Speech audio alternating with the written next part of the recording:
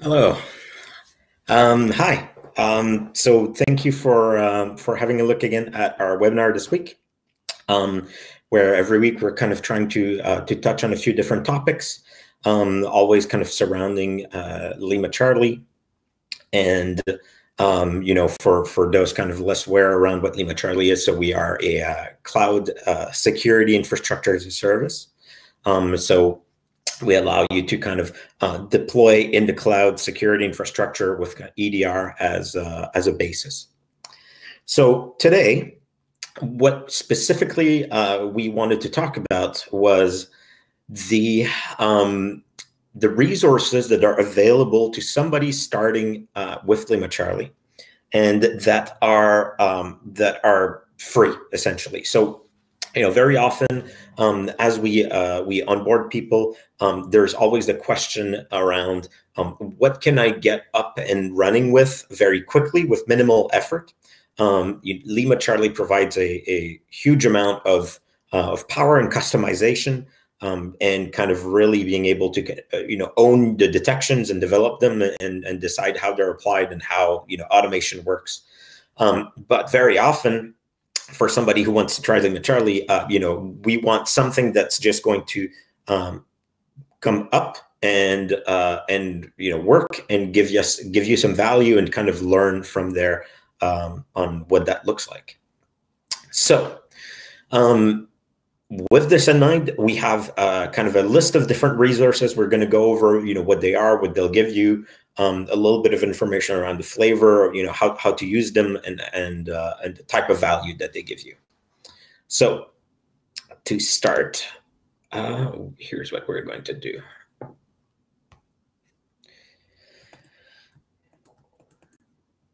We are going to go in here. All right. So um, there's a, a, couple of different ca categories of things that um, that you can use to get up and running. So the first one is, um, you know, obviously, you know, as you get set up, um, create an organization, Lima Charlie. So it comes with a free tier of two sensors as well. So it's very useful to just kind of try and get up and running. Um, the way that it works is that by default, you know, you can think of it like AWS or Google Cloud Platform is that, uh, you know, it, it's infrastructure that we make available. So by default, nothing is applied, nothing is going to automatically uh, work for you. It's kind of a blank slate. Obviously, uh, you know, if you're an MSSP um, or, or a larger organization, uh, you know, you might have your, your kind of uh, um, infrastructure as code configuration files that you can apply to your organizations, and you know you'll you'll have a good uh, a good base there. However, um, if you're just starting and you know you just want to start using a few things, um, the way that generally it works is that you will want to go into the add-ons section, and you will subscribe to things. So things could be uh, services, um, they could be lookups, they could be APIs, and by subscribing to them, um, depending on what that resource is, that add-on that you're subscribing to, either things will happen automatically for you, um, or in some cases, you'll have to, uh, it will just give you access to those things, and then you'll have to add, you know, a few things, usually DNR rules, detection and response rules, um, that we've covered in, in our previous webinar, to leverage those resources that you're using. So we're going to start by um, talking about the, the free ones um, and the ones that, uh, not the free ones, pardon me, but really the ones that um, will automatically take effect and do things for you. So there's really um, two big ones in that category. so uh, those are called services in the uh, in the add-ons. Add-ons resources We'll use those two names a bit interchangeably. Um, but uh, services which we've also covered in a previous webinar, um, tend to um, to kind of bring two things together for you. Um, the resource itself, the add-on itself, so like a threat feed or, or rules, and the DNR rules, uh, the detection and response rules, so applying those to your organizations. So the first one to talk about is uh, Sigma. So uh, Sigma is an open source um, language that is agnostic of uh, of where it gets run. It allows you to do, for example, uh, searches, you know, in in in various products, and um, for various types of behavior. Um, and uh, they support multiple what they call backends. So essentially, you know, translations of the of the rules. Um, they have a repository where people contribute hundreds and hundreds of rules, looking for you know various bad things. And um, there is a backend for Lima Charlie that allows you to take a Sigma rule, convert it to Lima Charlie. And yes, that's useful. That's an open source uh, repo. Um, however, what's even more useful is the Sigma service. And essentially, what that is, is that in a continuous uh, integration and deployment uh, fashion, we mirror those rules in Lima Charlie, convert them to DNR rules for Lima Charlie. And by subscribing to the Sigma service, we always continuously update those into your organization. So by clicking subscribe, you get access to a huge list. Um, if you want to see, uh, you know, the, the, the project itself, here's the URL. Um, so it's on GitHub. You can go have a look. Uh, the rules, everything gets updated there. If you want to have a look at um, how those rules get translated into Lima Charlie, into DNR rules, um, this is the actual prod repo um, that is hooked into the CI/CD pipeline, um, and these are the Lima Charlie DNR rules that are converted and that will get applied in your organization. So sometimes even you might get a hit, you know, a detection on one of those rules, and you want to know exactly, you know, what is this looking for? Um, you can start by looking at the Lima Charlie rules. So that's you know exactly what's going to be running on your on your organization. Uh, and if you want, you can go upstream to the uh, you know the Sigma rule, and you can even uh, you know do PRs, uh, so uh, pull requests to uh, to suggest updates or maybe false positives and all that. So um, that that is the the Sigma service. So just click enable it, and then within a couple of minutes, everything will kind of get mirrored within your organization, and you will get detections. It's worth noting that. Um, like all things in security, um, especially when you're talking about generic things um, in the detection world, you will get false positives of some kind. Um, we, you know, we don't control Sigma, so we really just mirror it. Um, and uh, what that means is that as you enable Sigma, you should kind of mentally be ready that you will want to create a couple of uh, false positive rules. Now, it's it's impossible to really kind of uh, you know pre- not prevent but pre-plan those.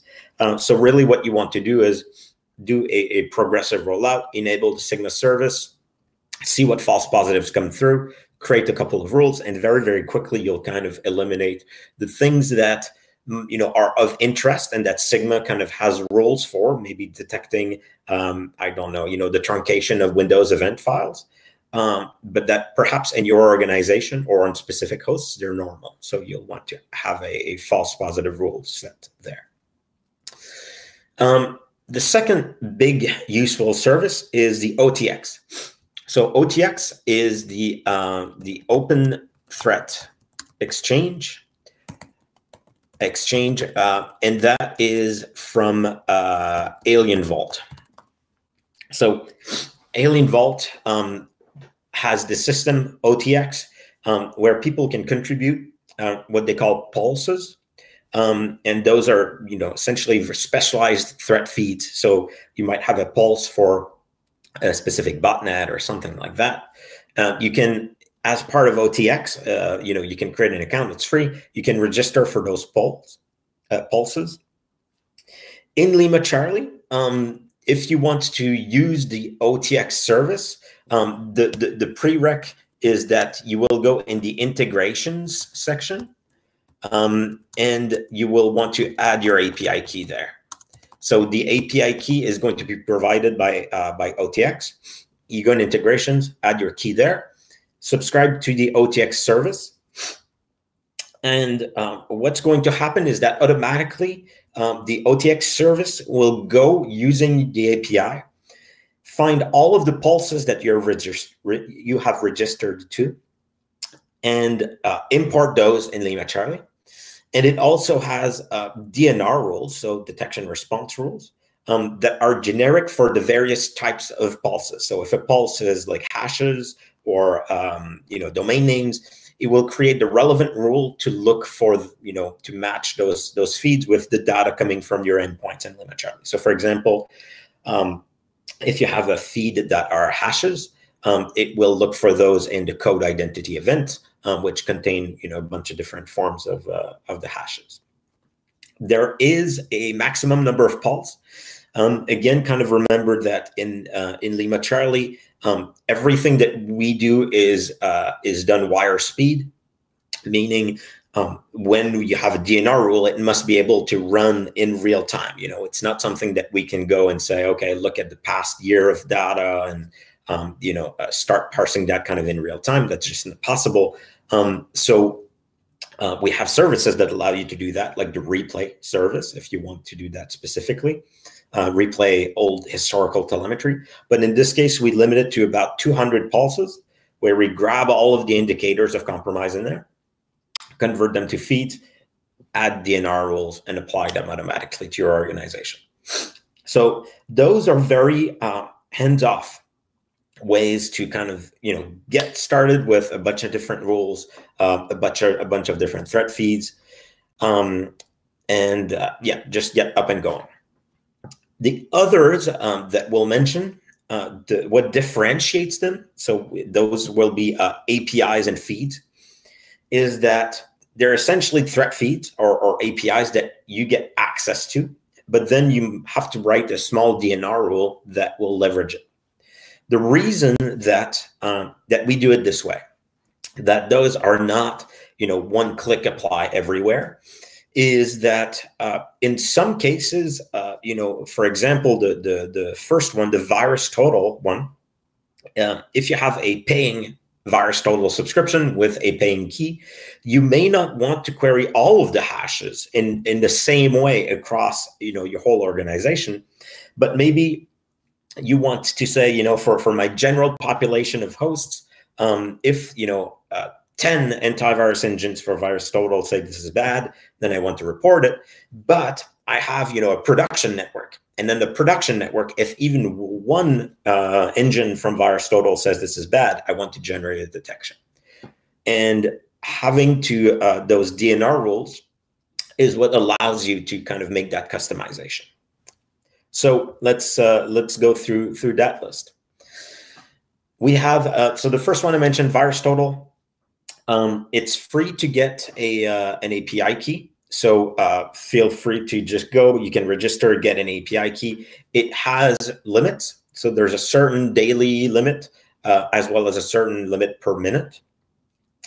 Um, you, in the same way uh, as the OTX, you have to go into the integrations um, and uh, add your API key. Once um, you do that, you can um, register to the API VirusTotal, again from the add-on. And that gives you access to specifically say, take this hash and query it against VirusTotal. Now, there's a few things that are worth noting. So because, um, you know, again, you know, we run wire speed, um, and this is an external API, and there are sometimes limits on, you know, in your API key it means that this must be done in a best effort way. And what that translates into, you know, practically speaking, is if you have a DNR rule that says take all the hashes coming from code identity events, so kind of deduplicated hashes, and you want to look them up against VT, as we do this lookup in real time, if let's say VirusTotal is down somehow, it should be extremely rare, um, what's going to happen is this is going to silently just skip, keep going. Um, part of the logic here is that usually, again, it all depends on the specific scenarios, but uh, you know the code identity event will reoccur uh, because the uh, they're deduplicated per host, per reboot, per day, if I recall. So you're likely going to get that that again. Um, alternatively, let's say that your key uh, has hit the maximum um, of, of, I think the free is four per minute. Um, what's going to happen is that, again, we will just skip over it and keep going. Now, uh, that is uh, that's not great and i mean there's a bunch of different ways that you know you can get a, a bigger key um, you know all of these things um, realistically um, one uh, interesting feature uh, that we have in Lima Charlie for the VirusTotal API that really makes this a lot easier is that um, we do a lot of caching. So as all of those things, uh, as all of those hashes get looked up uh, in, in VirusTotal, we cache those locally uh, for a certain period of time. And what that means is um, that if you're getting 100,000 hashes from your organization, it's extremely unlikely that you're going to be doing 100,000 VirusTotal lookup. Um, because the first time that one of your hosts resolves, you know, wininet.dll, th that hash, uh, that will get cached. And the next time that we see that hash again, we're not going to query VirusTotal, but instead we're going to short circuit all of this and give you the cached results extremely quickly. So in practice, you kind of end up uh, getting a lot more uh, mileage out of the VT integration in Lima Charlie uh, than strictly considering the, the quota that you have on your API key.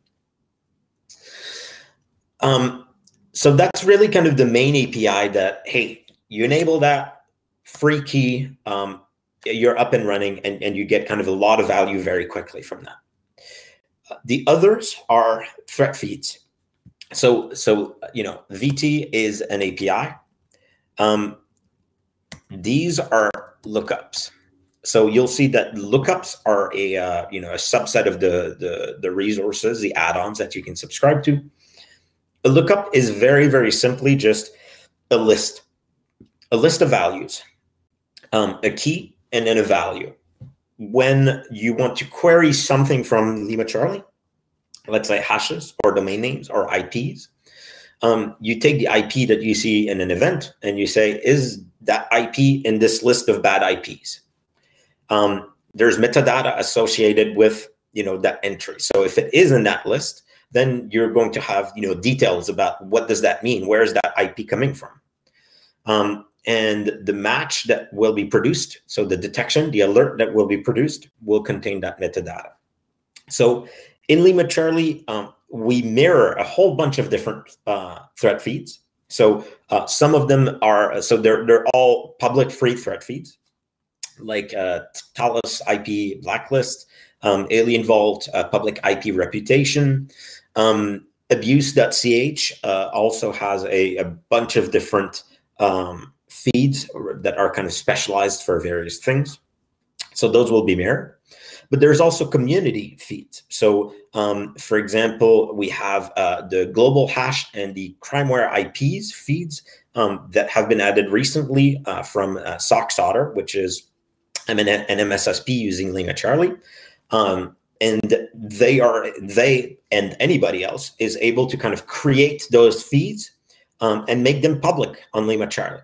So in their case, I believe they're updating those every four hours from various sources that they have um, you'll see some information around, uh, you know, in in the uh, in the add-on section, some information about what those are, and you just click subscribe, and that gives your organization access to those. Now, uh, both for APIs and lookups, uh, I've kind of mentioned, uh, you know, that's that's half of the equation. Getting access to it is half the equation. The other half is um, actually doing um, doing the lookups for those. So doing the actual lookup, uh, you have to create the DNR rule. Uh, don't be scared. That's very easy. And specifically, um, we're going to give you uh, four examples here because they're usually very generic, at least to begin with, until you want to uh, to really you know customize it. So um, let's start with VirusTotal in the same order that, that we did this. So VirusTotal um, the uh, the logical way that you want to query it against VirusTotal is fairly straightforward. So um, we want to do a uh, pardon me. So we want to do a lookup. So that's the operation for our rule. Um, the type uh, of events that we want to do the lookup from is code identity, so deduplicated hashes. Um, we want to to uh, do the lookup based on uh, on the main hash in Lima Charlie, uh, if you see a hash, the generic form of the hash is always SHA-256. Um, code identity also has uh, MD5 and SHA-1. In this case, we'll just simplify and just look up the SHA-256. The resource, so what we want to look up against is, so LCR, Lima Charlie resource, colon slash slash, so like a URL. Uh, API, VT. So we want to query the VirusTotal API. Uh, so, you know, the first part at the top here is saying take the code identities, take the hash, query them on VT. The second part here at the bottom is where we say, okay, uh, not only do I want to query VT, uh, but I want to, uh, you know, decide the threshold. So VirusTotal returns to you the number or, or the list of antivirus engines that it supports that have detected this hash as being malicious in some form. So in this case, we're defining a metadata rule, which just says, hey, whatever comes back from the VT API, I want to apply this subrule to this. And it's super straightforward. In this case, we're saying, I want to say if the uh, the length of, so it's a list, again, it's the list of, of uh, antiviruses that say this is bad. So if the length of that list is greater than three, consider that a match. So taken as a whole, this rule here will very simply look up all the hashes coming from code identities. And if there's more than three AV engines saying this is bad, generate a detection. Simple as that. You can customize this. Obviously, uh, you know, you could have like a top level rule that looks for a sensor tag. So maybe you want to only do those VT lookups for, um, you know, agents that are tagged uh, VIP, for example. It's my go-to example. Um, or uh, you know change the threshold. Um, you could also end this, you know, with various other clauses. Um, the second one, so we'll move to the the second kind of generic list, and it's for IP lookups. So a, a bunch of the feeds, you know, the lookups that are in, in Lima Charlie are for IP addresses. So this is a generic rule where we uh, will say, okay, we want to do a lookup. Um, the events are network connections. So network connections event is a um, slightly um, uh, slightly batched together list of network connections per process that occur. If I recall, it's every 30 seconds or something like that. So it's just more efficient and it's what is enabled by default um, you know, if you don't customize the, the types of events you want to get from your endpoint. So again, this is meant kind of as a, a quick default that will work out of the box.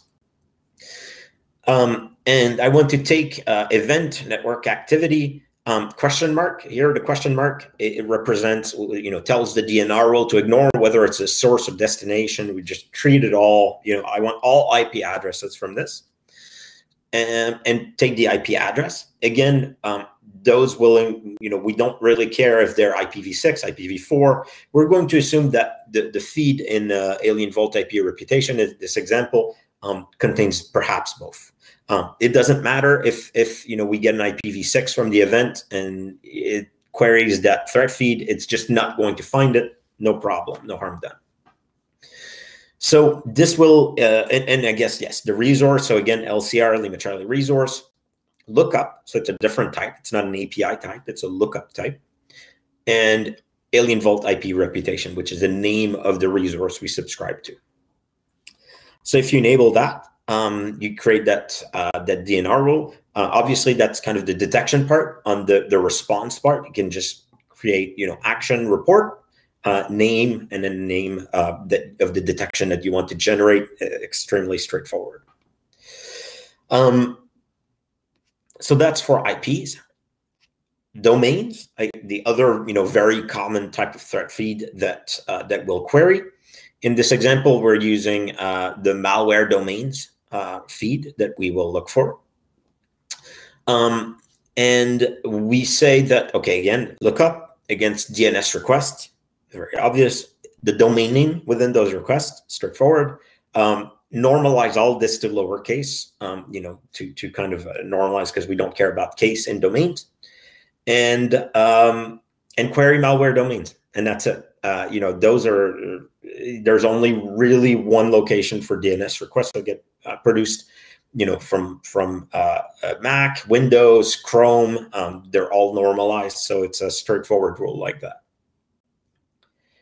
Finally, um, for hashes, you'll see that it's a little bit similar to the virus total one, except we, we've added a tiny bit of complexity here. So uh, this example, we're using the lookup global hash. So that's um, that's uh, the big uh, feed provided by Socks and Lima Charlie.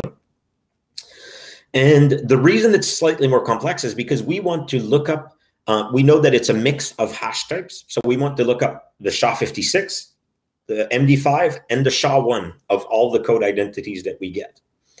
So to do that, we make the top level of our DNR rule an OR. So because we're going to essentially take three different rules and just say if one of them, A or B or C matches, consider that, that a match. We only care about code identity event that contains all those hashes. Um, and as I said, we're going to OR those three rules. And again, those three rules, we're saying look up the hash or the hash MD5 or the hash SHA-1 against um, this specific resource. So against that threat feed as straightforward as this. Um, once you do that, you know, you just do report or whatever that is, and uh, you're you're good to go. So um, that's kind of the the overview. Um, what I can, uh, yeah. So so that's really kind of the overview of um, the main forms of uh, you know of capabilities that you can get out of Lima Charlie uh, very quickly out of the box without having to put your own feeds, without having to create your own resources. Obviously, um, those are also free, but there's uh, there's a few non-free resources. For example, we produce a cutting edge um, uh, feed as well um, that you can use um, that kind of contain very uh, very cutting edge uh, forms of like a threat feed, so hashes, IPs, domains, um, that uh, that we also update very frequently. Um, you can obviously also feel free to uh, to create your own. So you can not only create your own lookup, for example, of a threat feed um, that is private or public. You can make it public if you want. Um, and if you're interested also in providing some feeds, um, but you know perhaps you're you have a, a threat intel shop that is producing uh, very high quality feeds or very specialized feeds, um, you can get in touch with us, and we're also able to put uh, you know put your feed uh, in a public, but in a public uh, paying fashion through uh, through the LimaCharlie uh, you know small marketplace, so that um, if somebody wants to subscribe to it, they can do it, and it works exactly the same way, uh, except that they'll be you know billed per endpoint per month usually, and uh, and it's as straightforward as that. So um, it, it, this tends to be a bit more of a straightforward topic. Um, so I, I, know that we you know we have a pretty strong delay again on um, on the stream. Um, so you know if you have any questions, uh, feel free to uh, to put them in the chat. I'll wait a little bit uh, more. Um, otherwise, go for it. Uh, you know, uh, create a LimaCharlie account. It's free create an org. It's free. It has a two free sensor tier. So uh, you know, there's kind of no real reason not to um, to you know get playing with it, develop some roles, um, see uh, you know the, the types of events, types of telemetry that you get back from LimaCharlie. Um, you know, in some ways, you can use LimaCharlie, uh, uh you know, almost for detonation. Um, you know, in a VM, if you want to see the, the detailed behavior of what's going on, and um, yeah, that's it. Uh, I guess I should note also that there's there's another type of of uh, of resource that you can use, which is the detections. Um, and what those are, it, you know, it's a D&R rule. It's it's the detection half of a D&R rule, just like this. Um, and you can subscribe to them. And if you look in our documentation, you can create yourself a rule that embeds this um, this kind of encapsulated rule. Um, it's a little bit less straightforward, um, but we also have, you know, some uh, some detections that are made public that you can uh, just apply to your organization uh, as well. Cool. So I, I don't think uh, I don't think there's really any questions. Um, if there are, feel free, uh, get in touch with us again, uh, very approachable. Uh, there's also the, the public Slack community at the bottom of our main webpage that you can get access to. Um, and we, uh, you know, we answer questions, the community answer questions. You can get in touch with us in a, in a semi-private way as well. Um, cool. All right. Well, thanks. See you around.